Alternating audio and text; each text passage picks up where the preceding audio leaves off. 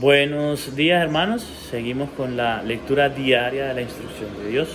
Hoy nos corresponde leer el día número 7 de la semana 9 que hemos llamado Ya habitó. Y vamos a leer desde Génesis 41 hasta Génesis 40, 23.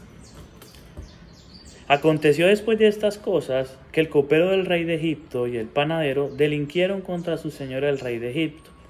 Y se enojó Faraón contra sus dos oficiales contra el jefe de los coperos y contra el jefe de los panaderos. Y los puso en prisión en la casa del capitán de la guardia, en la cárcel donde José estaba preso. Y el capitán de la guardia encargó de ellos a José, y él les servía, y estuvieron días en la prisión. Y ambos, el copero y el panadero del rey de Egipto, que estaban arrestados en la prisión, tuvieron un sueño. Cada uno su propio sueño en una misma noche, cada uno con su propio significado. Vino a ellos José por la mañana y los miró, y aquí que estaban tristes. Y él le preguntó a aquellos oficiales de Faraón, que estaban con él en la prisión de la casa de su señor, diciendo, ¿por qué parecen hoy mal vuestros semblantes?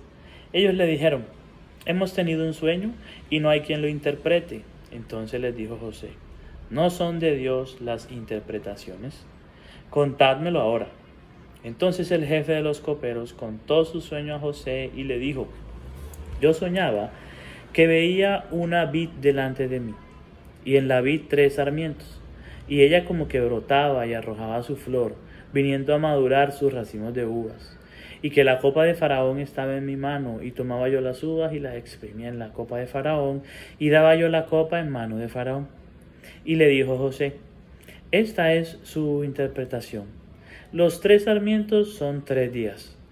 Al cabo de tres días, levantará Faraón tu cabeza y te restituirá a tu puesto y darás la copa a Faraón en su mano, como solías hacerlo cuando eras su copero. Acuérdate pues de mí cuando tengas ese bien, y te ruego que uses conmigo de misericordia, y hagas mención de mí a Faraón, y me saques de esta casa. Porque fui hurtado de la tierra de los hebreos, y tampoco he hecho aquí porque me pusiesen en la cárcel. Viendo el jefe de los panaderos que había interpretado para bien, dijo a José, también yo soñé que veía tres canastillos blancos sobre mi cabeza. En el canastillo más alto había de toda clase de manjares de pastelería para Faraón, y las aves las comían del canastillo de sobre mi cabeza. Entonces respondió José y dijo, Esta es su interpretación. Los tres canastillos tres días son. Al cabo de tres días Quitará Faraón tu cabeza de sobre ti, y te hará colgar en la horca, y las aves comerán tu carne de sobre ti. Al tercer día, que era el día del cumpleaños de Faraón, el rey hizo banquete a todos sus sirvientes, y alzó la cabeza del jefe de los coperos, y la cabeza del jefe de los panaderos entre sus servidores. E hizo volver a su oficio al jefe de los coperos, y dio éste la copa en mano de Faraón mas hizo ahorcar al jefe de los panaderos como lo había interpretado José. Y el jefe de los coperos no se acordó de José, sino que le olvidó.